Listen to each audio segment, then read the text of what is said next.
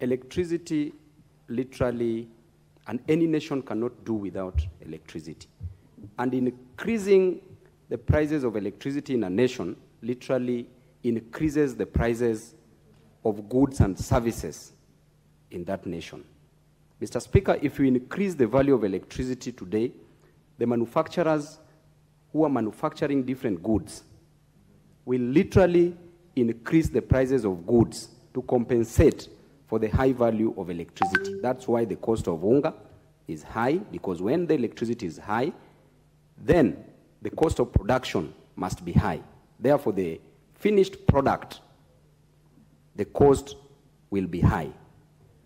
Mr. Speaker, and that goes to any other good that is being manufactured, because in every factory or industry, electricity is used.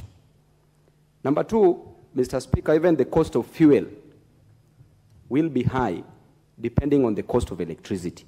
Because in this country, if you increase the cost of electricity the way it is, then the pumps are even using electricity. Therefore, the cost of fuel must go up. Mr. Speaker, the cost of electricity must not only be reduced in this country, but electricity should be provided for free in this country.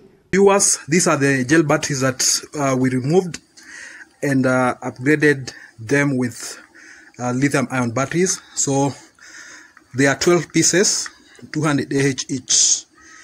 So I'm taking you now to where we're having the new battery